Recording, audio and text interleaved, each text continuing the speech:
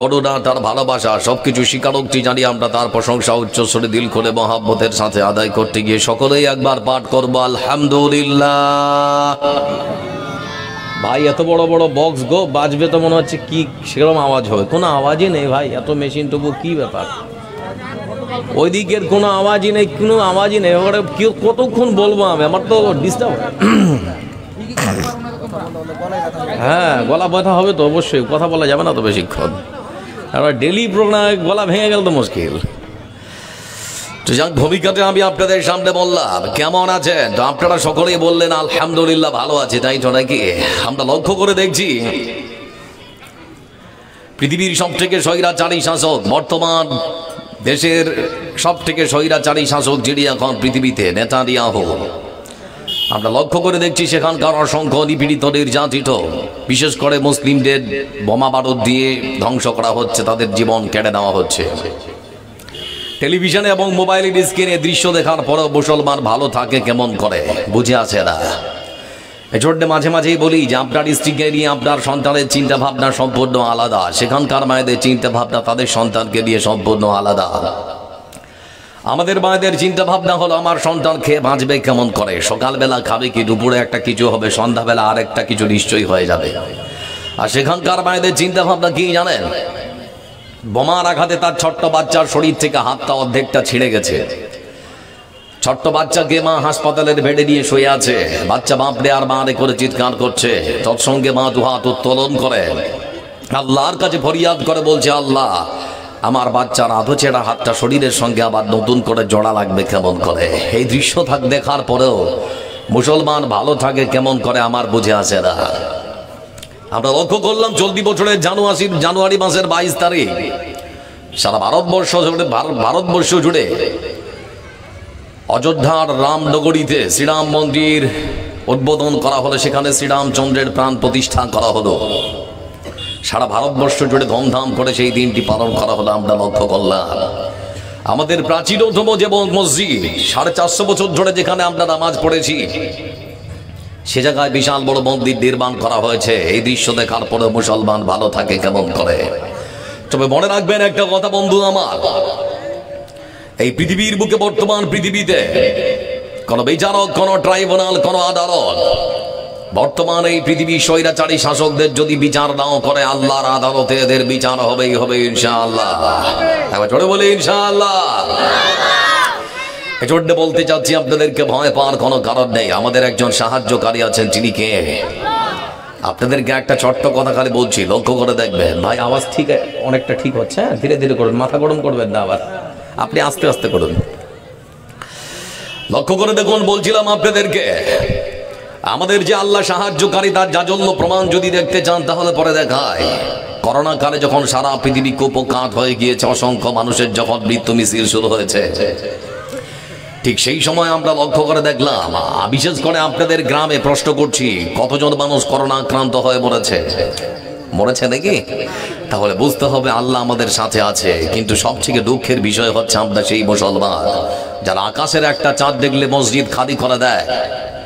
আবার ওই আকাশের আর একটা চাঁদ দেখলে মুসলমান মসজিদ ফাঁকা করে দেয়। সামনে দেখবেন রমজানের চাঁদ দেখলে মসজিদ পরিপূর্ণ, আবার ঈদের চাঁদ দেখলে মস- মুসাল্লি আর খুঁজে পাওয়া যাবে না মসজিদে। এরকম হয় না হয় না? হয়। আচ্ছা বলুন, সারা পৃথিবীর মানুষ যদি নামাজ না পড়ে, আল্লাহর যে পজিশন সে পজিশন থেকে আল্লাহকে কি একটু নিচে নামানো যাবে নাকি? আর সারা পৃথিবীর মানুষ যদি নামাজ পড়ে, আল্লাহর পজিশন থেকে আমরা একটু আল্লাহকে উপরে উঠিয়ে দিতে পারব নাকি? না।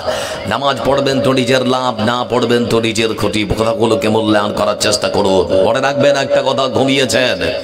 ঘুম ভাঙলে সকাল, না ভাঙলে পরকাল। মাটির নিচে গিয়ে যদি ভালো থাকতে চান, মাটির উপরে ভালো কাজ করে যান। মাটির উপরে ভালো কাজ করবেন, যত বেশি মাটির নিচে গিয়ে ভালো থাকবেন, তত বেশি। আর গ্যারান্টি দিয়েছেন পৃথিবীর সর্বসেরা মহাবাদ বিশ্বনবী মহাব্বাদ মুস্তফা আলাইহি ওয়াসাল্লাম। এজন্য যুবককে জিজ্ঞেস করছি, যুবক, তুমি কার আদর্শ মেনে চলো? বলে, আমার জন্য আদর্শ বা মনের হচ্ছে শাহরুখ খান। কি দিয়েছে তোমাকে? এ টু থ্রি কেমন করে জুয়া খেলতে হয়?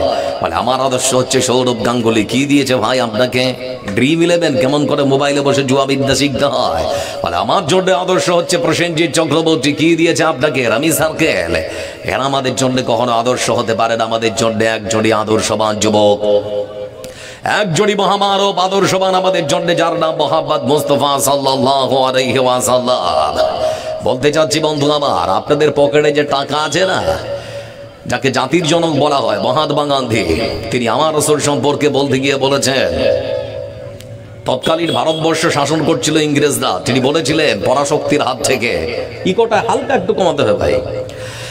পরাশক্তির হাত থেকে যদি ভারতবর্ষকে আমরা বাঁচাতে পারি, আমরা যদি আবার দখল করতে পারি আমাদের ভারতবর্ষকে, তাহলে আমি মহাত্মা গান্ধী আমার মন বড় চাই যে ভারতবর্ষকে রসুল সাল্লামের জীবন আদর্শ দিয়ে সুন্দর করে পরিচালনা করব। এই মহাত্মা গান্ধী আমার রসুল সম্পর্কে উক্তি দিতে গিয়ে চিঠি আমার বলেছেন সারা পৃথিবী যখন ছিল অন্ধকারেরই মজ্জিত, ঠিক সেই সময় পূর্বাকাশে এক উজ্জ্বল নক্ষত্রের আবির্ভাব হয়েছিল। সেই উজ্জ্বল নক্ষত্র দিয়ে সারা পৃথিবীকে আলোকিত করা হয়েছে যিনি আর কেউ নন। বরং যিনি হচ্ছেন বিশ্বনবী মোহাম্মদ মুস্তফা ওয়াসাল্লাম। আমার বন্ধুরা, আমার সাল্লাল্লাহু আলাইহি সম্পর্কে উক্তি দিতে গিয়ে আয়ারল্যান্ডের একজন বিখ্যাত নাট্যকার, যার নাম হলো জাজ বার্নার্ড। তিনি আমার রসুল সম্পর্কে বলতে গিয়ে বলেছেন, এই পৃথিবীর বুকে নারীদের যখন কোনো সম্মান ছিল না, কোনো ঘরে কন্যা সন্তান জন্মগ্রহণ করলে তাকে যখন জ্যান্ত অবস্থায় মাটিতে পুঁতে ফেলা হতো, এই সেই মহামানব পৃথিবীর বুকে আসার পর নারীদের সম্মান বাড়াতে বাড়াতে বাড়াতে বাড়াতে এত উচ্চ পর্যায়ে পৌঁছে দিয়েছেন। তিনি ঘোষণা করেছেন নারীর পায়ের নিচেই জান্নাত। চিড়ি আর কেউ নন, বরং চিড়ি হচ্ছেন মোহাম্মদ মুস্তফা সাল্লাল্লাহু আলাইহি ওয়াসাল্লাম। এই বলতে যাচ্ছি, বন্ধু আমার, ভয় পাওয়ার কোনো কারণ নেই, শুধুমাত্র ফিলিস্তিন নয়, যে ভারতবর্ষকে বলা হয় ধর্মনিরপেক্ষ দেশ। আমি বিশ্বাস করি আমাদের ভারতবর্ষের ধর্মনিরপেক্ষ দেশে সবারই ধর্ম পালন করার স্বাধীনতা আছে। আমার হিন্দু ভাই দুর্গা পূজা, কালী পূজা উদ- উদযাপন করতে পারে, তাদের বেলা আমরা কখনো মাথা খাবাই না। তবে আমি মুসলমান সুন্দর করে নামাজ পড়ার জন্য পাঁচ মিনিট রাস্তায় দাঁড়ালে তারা আমাদেরকে বাধা দেবে, কেন সদুত্তর আমরা কার কাছে পাবো? এই জন্য বলতে যাচ্ছি পৃথিবীটা মানুষের হোক, ধর্ম থাকুক, অন্তরে। মন্দিরেতে ঘণ্টা বাজুক, গাজান হোক, মসজিদে। আমি বিশ্বাস করি মারা এক বৃন্তি, দুটি কুসুম, হিন্দু, মুসলমান। মুসলিম তার নয়ন মরি, হিন্দু তাহার প্রাণ। আসর, হিন্দু, মুসলমান, জৈন বৈদ্য খ্রিস্টান, সবাই মিলেমিশে একটা সুন্দর পরবর্তী প্রজন্মকে ভারতবর্ষ উপহার দেওয়ার জন্য সকলে মিলে একটু চেষ্টা করি। যেখানে থাকবে না কোনো হিংসা, থাকবে না কোনো বিদ্বেষ। কিন্তু আমরাই নিজেরাই পারি না। আমরা আল্লাহর হুকুম এবং রাসুলের আদর্শ মানতে পারি না। এজন্য শুভ নববর্ষের নব মুসলমান যুবকেরা পিকনিকে গিয়ে ডিজে বাজিয়ে আল্লাহর জমিনকে কাঁপায়। এরকম যুবক আছে না নেই? আপনাদের দিকে যায় না? ডিজে বাজিয়ে যারা যুবক আল্লাহর জমিনকে কাঁপাচ্ছ, তোমাদেরকে বলি শুধুমাত্র সময়ের ব্যবধান। আজকে আল্লাহ তোমাকে স্বাধীনতা দিয়েছে বলে আল্লাহর জমিনকে তুমি ডিজে বাজিয়ে কাঁপাও। লক্ষ্য করে দেখো, কয়েকটা দিনের বিরতি সময় আছে।